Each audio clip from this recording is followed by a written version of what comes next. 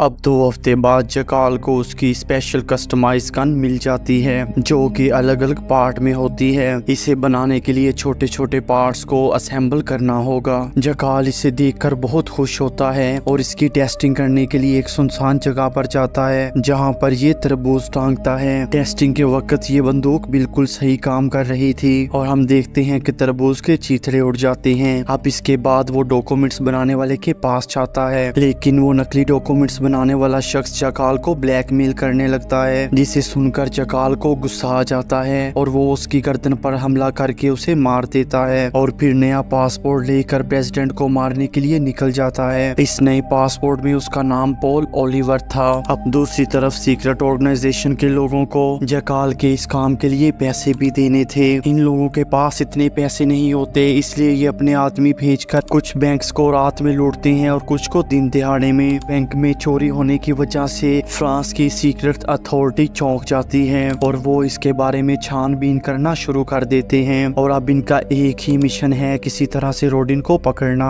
थोड़ी देर बाद इन्हें पता चल जाता है कि आखिर रोडिन और उसके साथी कहाँ पर छुपे हुए हैं। पता चलता है कि होटल का मालिक वलेंसी सीक्रेट ऑर्गेनाइजेशन से ताल्लुक रखता है। वलेंसी दिन में दो बार लेटर पोस्ट करने और रिसीव करने के लिए जाता है। काफ़ी पूछताछ करने के बाद गवर्नमेंट वलेंसी को पकड़ने का फैसला करती है।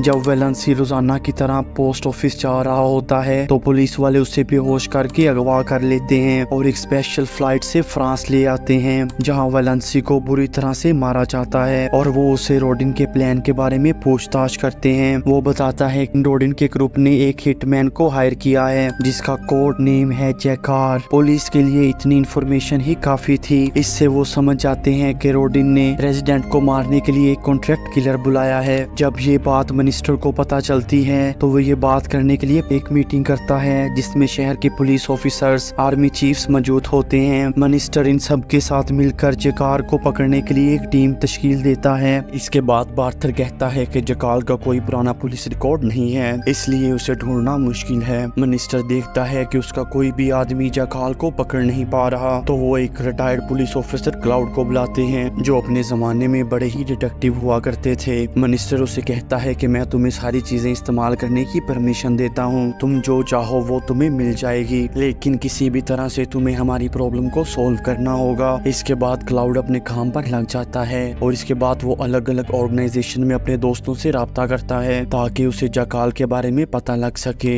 उधर डेनारस कर्नल को अपने प्यार में फंसा लेती है। जब कर्नल घर पर आता है और कर्नल उसे अनजाने में सब कुछ बता देता है, जो आज सीरियस मीटिंग में हुआ था। आके क्या हुआ देखते हैं। नेक्स्ट पार्ट में